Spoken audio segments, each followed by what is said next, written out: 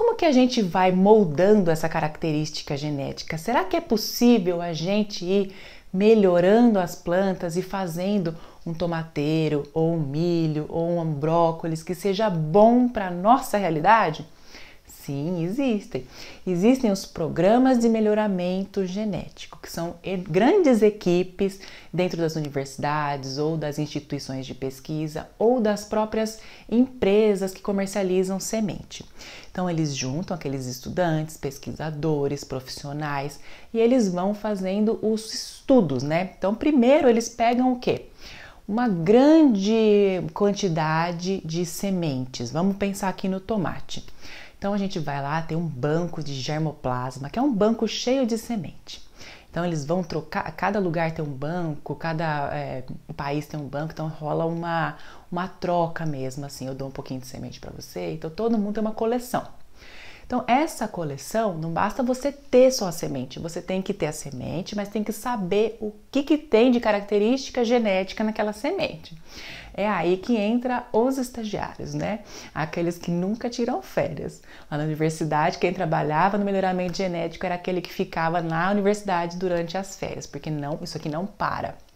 Então, ele vai pegar todas as sementes daquele banco de germoplasma, ele vai plantar e ele vai observar todas as características, cor de folha, tamanho, crescimento, fruto, sabor, tudo que ele puder avaliar, ele vai avaliar.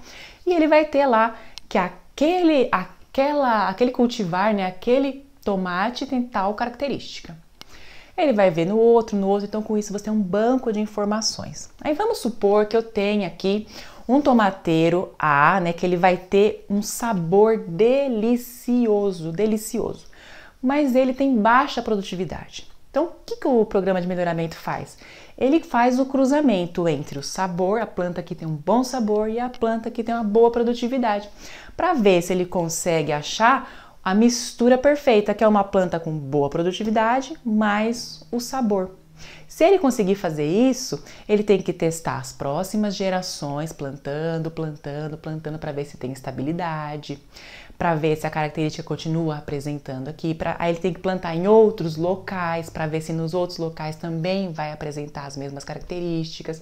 Então são programas é, muito longos para você desenvolver um novo cultivar, né? Muitas pessoas falam variedade, é mesma coisa, tá? Só muda algumas algumas coisas genéticas, depois eu até explico para vocês. Então, para desenvolver isso é um trabalho longo de 10 anos para você desenvolver um novo cultivar. Então, os objetivos dentro desses programas aqui, eles são bem específicos. Então, surgiu uma nova praga. Aí a pessoa tem que ir lá fazer um melhoramento para ver se encontra essa planta aqui que eles já desenvolveram, mas também com resistência. Vai lá no banco, ver se tem alguma planta que tem resistência a determinada doença e começa a fazer o cruzamento para ver se acha sabor, produtividade, resistência.